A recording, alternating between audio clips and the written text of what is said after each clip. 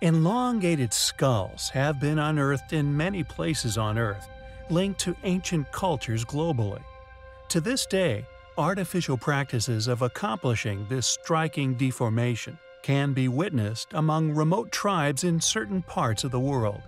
Thanks to this, and indeed the remains that have been found and studied previously, we not only now understand how this elongation is artificially accomplished, but also anomalies found on some specific and rather special specimens. For example, if one exhumes the remains of the ancient civilization of the Han culture, one is able to establish many things regarding the past technique, the individual skull which endured said practice. This can often be done by tracking the cranial napping found upon all human skulls.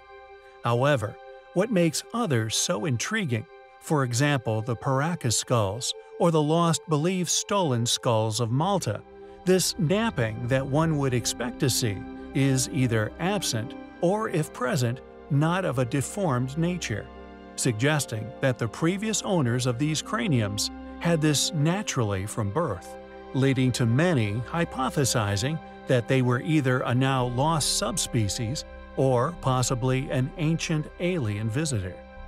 If we track the provenance of these beings, one can also argue this increased cranial mass as a possible contributing factor in increased intelligence.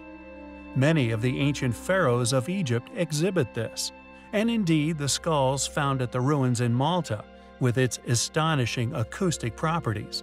Their burials evidence of them once being valued members of these societies, but also the possible contributors to the advancements in technology and architecture found at these sites. The most unusual, however, those with no evidence of binding, have been found at many prehistoric sites, such as the so-called alien mines along the banks of Lake Superior. Lloyd Pye has also made a lucrative business promoting the discovery of a curious humanoid skull he found a few years ago. Although not dismissed as a deformity, many still strongly believe it to be that of a human-alien hybrid. Regardless of the artificial binding which still occurs, questions remain. Why do some of these skulls appear to have been natural? Why is the ancient practice undertaken? Who inspired it? Why were the exquisite skulls of Malta stolen? Are we really looking at the remains of ancient alien visitors?